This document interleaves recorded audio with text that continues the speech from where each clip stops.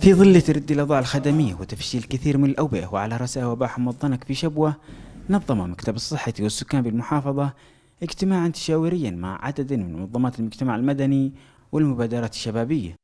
وجاء هذا الاجتماع لمناقشة مبادئ التعاون والأسس المفترضة لخلق شراكات مع المنظمات غير الحكومية في تنفيذ بعض المهام ومواجهة التحديات التي تحدق بالمحافظة.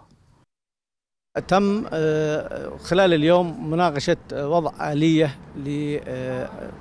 للعمل المستقبلي. لأن هناك هفوات في المرحلة السابقة وتجاوزات حصلت من بعض المنظمات وتنفذ أنشطة بدون الرجوع إلى مكتب الصحة والسكان.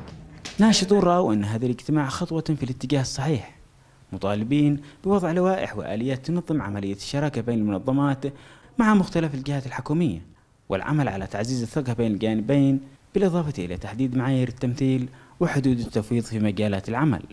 في حالة مثلا أن منظمات المجتمع المدني هناك عندهم أنشطة جديدة ينفذوها في الجانب الصحي لابد أن يطلعوها قبل أن ينفذوها على مكتب الصحة والسكان لكيفية الإشراف والمتابعة وذلك لمعالجة أي أمور قد تصير في ما بعد هذا النشاط.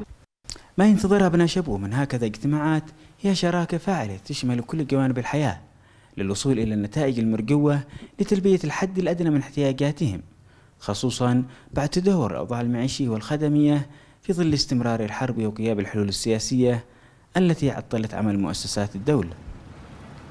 إبراهيم حيدرة قناة بلقيس شبوه